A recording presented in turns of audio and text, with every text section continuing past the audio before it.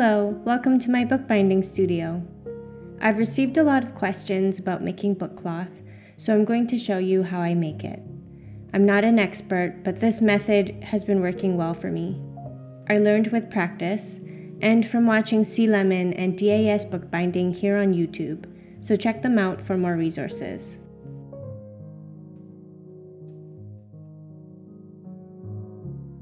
I found this lovely cotton linen blend fabric from my local fabric store.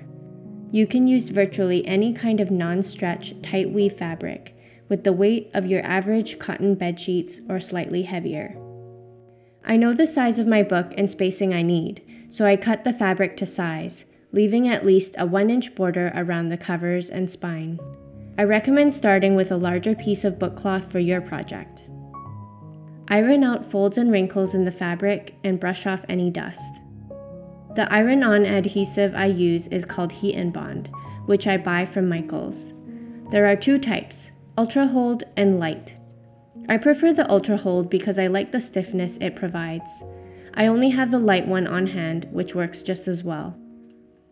Iron the Heat and Bond onto the wrong side of the fabric. Go slow to avoid bubbles and wrinkles. If there are small bubbles, you can flip it over and iron them out. Heat and Bond does prevent glue from seeping through, but I found that it's not completely waterproof, so use just enough glue when mounting your book boards. You can experiment with different weights of fabrics and the two different types of heat and bond to achieve your preferred weight and stiffness. I've learned that with bookbinding, testing is key.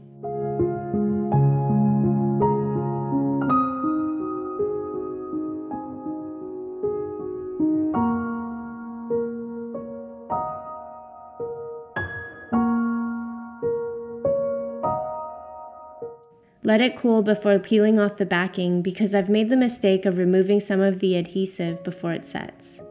I've prepared the tissue paper to iron on to the other side. This is a tissue paper called Unryu, made of kozo or mulberry fibers. The paper is very thin and light with a weight of 20 grams. You can use heavier tissue paper as well. Search Unryu tissue paper and you should be able to find many suppliers online.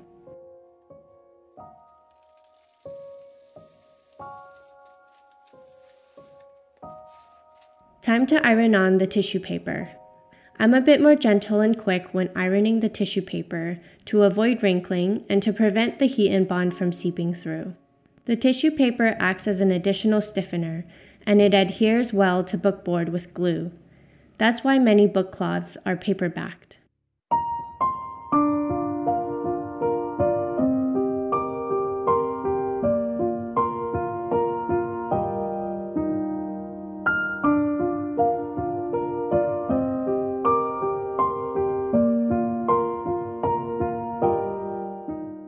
I try to produce as little waste as possible, so here I am patching up the remaining exposed heat and bond.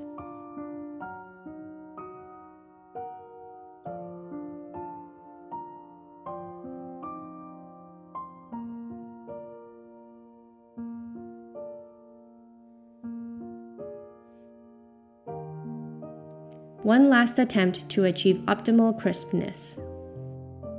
And voila, my book cloth is ready to be made into book covers. Floppy fabric, stiff book cloth.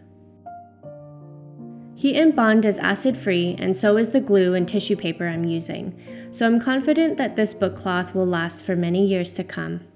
A better but rarer feature is to find materials that are archival quality. I hope this video helps you with your book project. Let me know what other tutorials you'd like to see from me. See you soon!